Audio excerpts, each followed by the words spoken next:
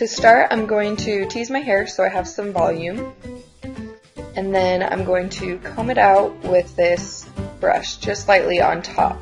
And I'll leave the brush below in the description box if you're interested. And then you're going to move all of your hair to the side that has the least amount of hair that you part on. I like to start on that side. Take a little section and tie that off with a clear elastic band. Tie it just an inch or two above your neck.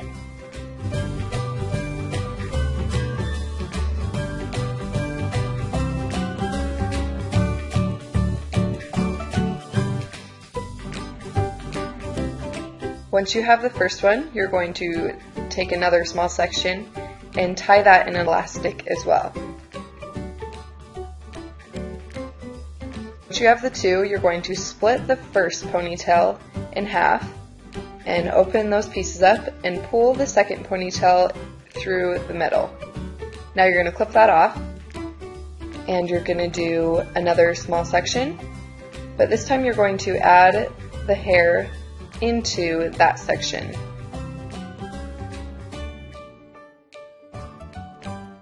Take that clip out and do the same thing. You're going to split it in half.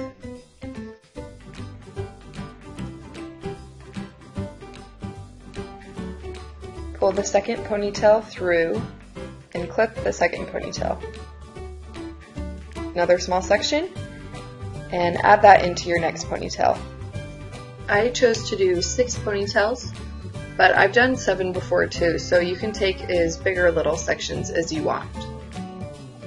And you can notice that I'm not sectioning the hair going from the very top of my head all the way down because I, I don't want to see a line of where each section starts. I want it to be really subtle. So I'm mostly grabbing the sections from underneath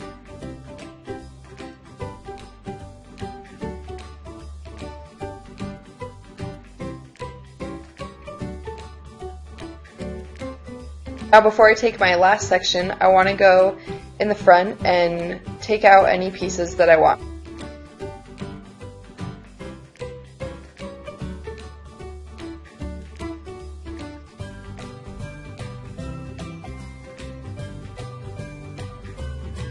When you've added all of your hair in, we'll take that top section and tie that with an elastic. And stick your finger through and you're going to pull that other ponytail through that hole. Now tie that with an elastic and do the same thing all the way down.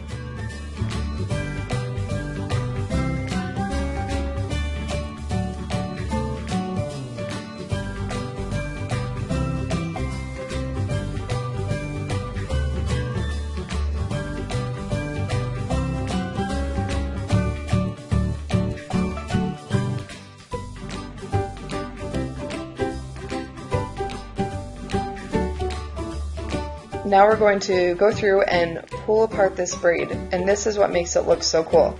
I had to use one hand while I was doing the first couple sections because I don't have a mirror that I can look at and use both hands.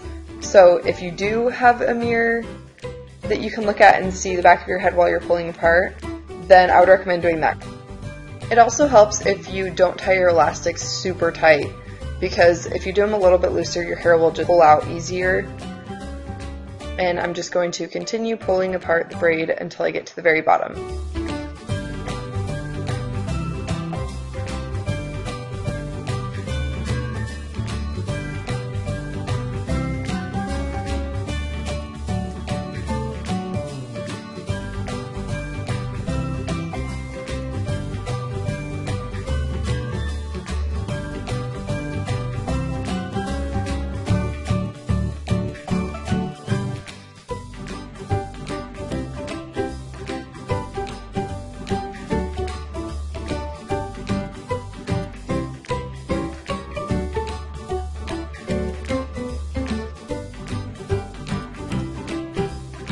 Take that end and you're going to tuck it under the bottom and bobby pin that in.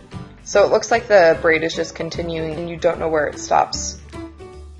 Feel free to use bobby pins to secure it to your head if you feel like it needs it. Now I'm just going to fix the front and pull it out a little bit more because I want more volume. And hairspray it. And you're done. Thanks for watching.